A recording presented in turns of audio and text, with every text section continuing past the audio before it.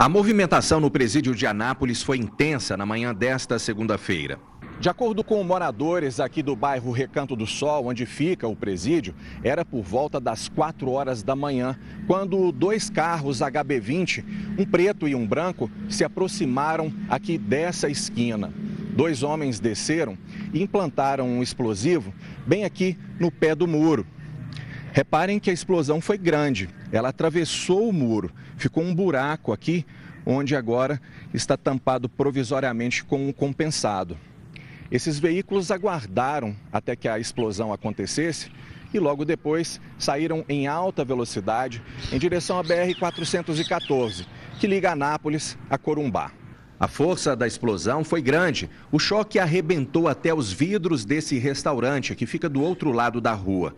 Os vidros da guarita também se quebraram. Enquanto o conserto não é feito, o local está sendo guardado pela Polícia Militar. A ação parece ter sido combinada com alguns presos. É que quatro deles tentaram fugir por aqui logo depois que o artefato explodiu. Houve uma tentativa de fuga, inclusive alguns cadeados é, cortados, né? Ou seja, é. E quatro detentos tentaram sair no momento da explosão, mas os policiais militares estavam atentos e impediram é, a fuga desses detentos. Esse é o segundo incidente depois que o novo presídio foi inaugurado na última sexta-feira. No sábado, quatro presos conseguiram fugir. Zilon Pereira da Silva, Marcos Felipe da Silva Santos, Eider Oliveira Batista e Rafael Pereira cerraram uma grade que dava acesso a um dos corredores da unidade e depois sumiram. Para o presidente do Conselho de Execuções Penais de Anápolis, a demora na transferência dos reeducandos do antigo para o novo presídio pode estar estimulando as fugas, já que lá vai ser mais difícil de escapar. O prédio é velho, dentro da cidade, junto com crianças, junto com pessoas.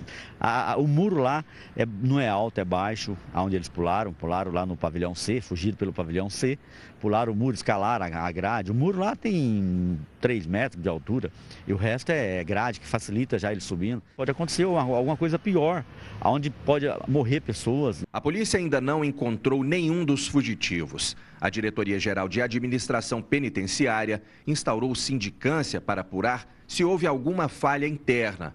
Mas, para Gilmar, só a transferência para o novo presídio aliviaria a pressão dentro do que ele considera uma bomba relógio. Que inaugurou o prédio, mas não começou a funcionar, não inaugurou. Para mim, a inauguração teria que ser para começar de imediato. Mas me parece que falta ainda mão, mão, é, mão de obra, né? seres humanos para trabalhar lá, falta material, estrutura. Então nós, nós queremos que isso aí acelere o máximo possível para que resolva o problema da carceragem em Anápolis.